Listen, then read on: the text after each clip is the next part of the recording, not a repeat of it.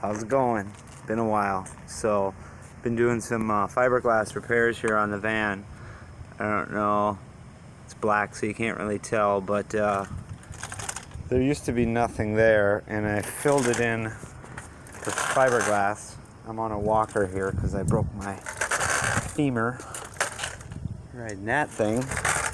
And uh, but I came up with a clever way to span the large gaps before you fiberglass. Um, styrofoam doesn't really work that good because it melts once you get the resin on it. So what I came up with is this stainless steel safety wire. You get it at Napa, O'Reilly, whatever. Then you drill a couple small holes.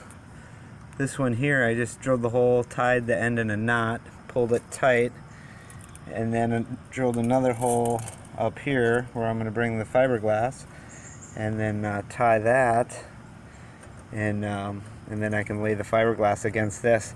And this wire just so happens to have some resin on it. It's tacky from a project I was doing with the door.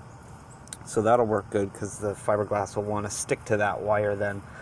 Uh, otherwise what I would have done is put some POR 15 over it um, I still might do a little POR 15 here where I drilled the holes before I put the fiberglass on. But yeah, I thought I'd share that with you. How to uh, span large gaps for rust repair. Thanks for watching.